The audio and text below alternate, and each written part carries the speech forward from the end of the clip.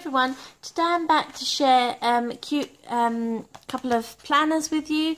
Um, I made these using um, my um, laminator. So um, they're pretty much the same, so I'm going to share this one with you. This one's got a couple of paper clips in.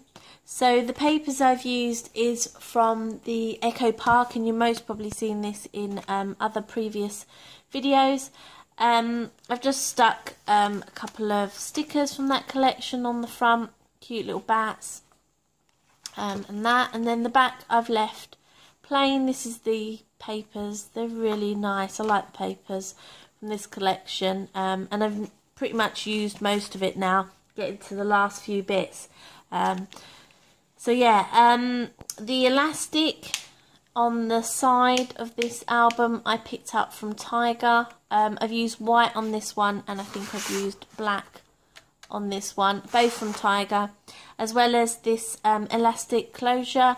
This is really pretty, um, black and silver one. Um, they had other colours in there, but I thought this is quite Halloweeny, so I picked that up again from Flying Tiger inside. I've made a couple of shakers. I've not actually done any of this before in planners.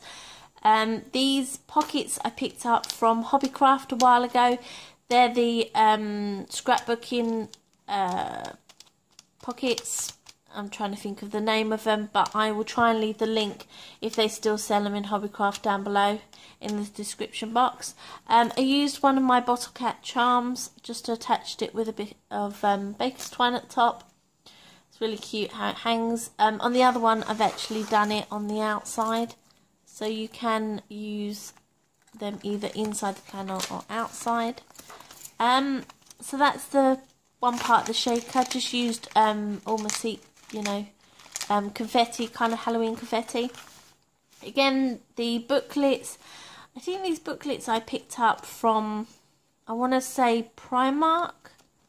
Um, I couldn't tell you they had covers on them. I've just taken them, removed the covers of them, um, and I've not attached, so you can add other booklets um, and use this all like year round sort of thing, or, or next Halloween you can just replace the booklets.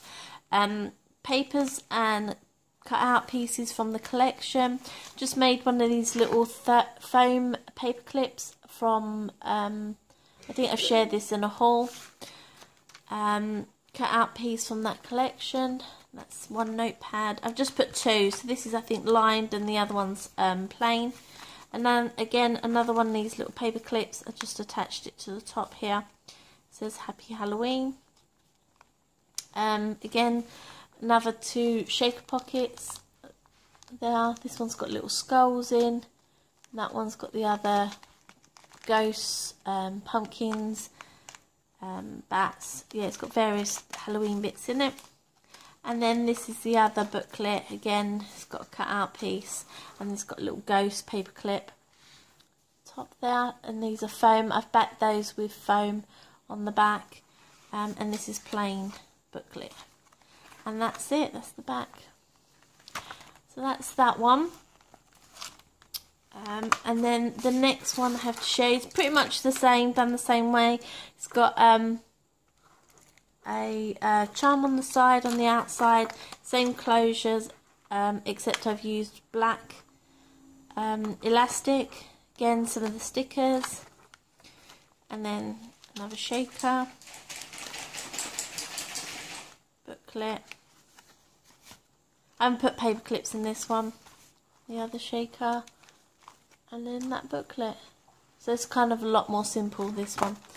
And that's it, guys. Um, I hope you enjoyed this video. If you have any questions, um, please leave them in the comments below. And I'll catch you in the next one. Take care, guys. Bye.